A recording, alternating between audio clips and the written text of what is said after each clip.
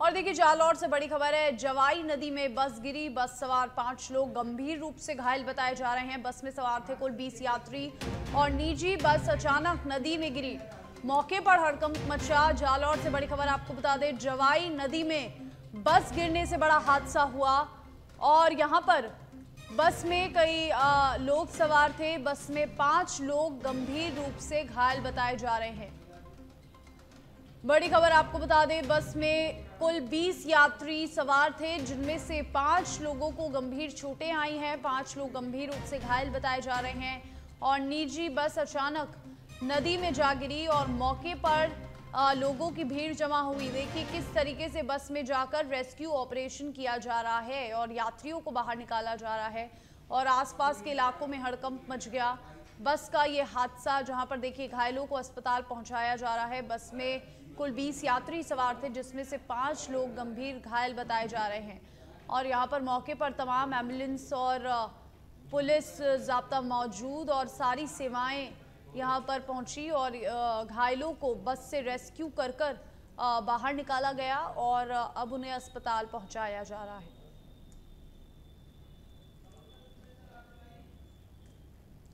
और देखिए, सच बेधड़क सबसे पहले आपको ये खबर बता रहा है, बस में सवार करीब 20 लोगों में से पाँच लोग गंभीर रूप से घायल हैं। नदी में बस गिरने से बड़ा हादसा जवाई नदी में बस ये गिरी है और यहाँ पर पाँच लोग गंभीर रूप से घायल बताए जा रहे हैं। बस में सवार करीबन 20 लोग थे और ये हादसा हुआ।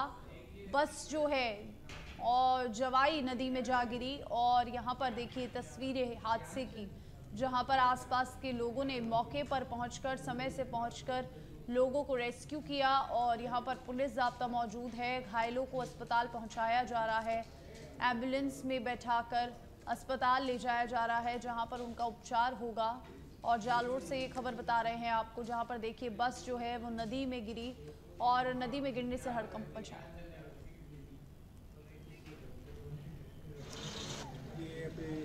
के ऊपर एक्सीडेंट हुआ है। बस नीचे प्राइवेट बस है तो अंदर में गिरी। उसमें पाँच सीनियर्स का है। तो तो बीस सवारियाँ थी जिनको हॉस्पिटल पहुँचा दिया गया। अभी तक कोई किसी के भी सूचना नहीं है सभी